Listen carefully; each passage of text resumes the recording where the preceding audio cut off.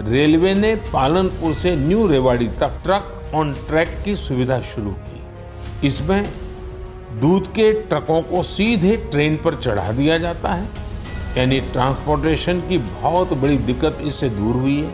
पहले जिस दूध को पहुँचाने में 30 घंटे लग जाते थे, वो अब आधे से भी कम समय में पहुँच रहा है। इससे जहाँ ईंधन से होने वाला प्रदूषण रुका है, वहीं ईंधन का खर्च भी बच रहा है।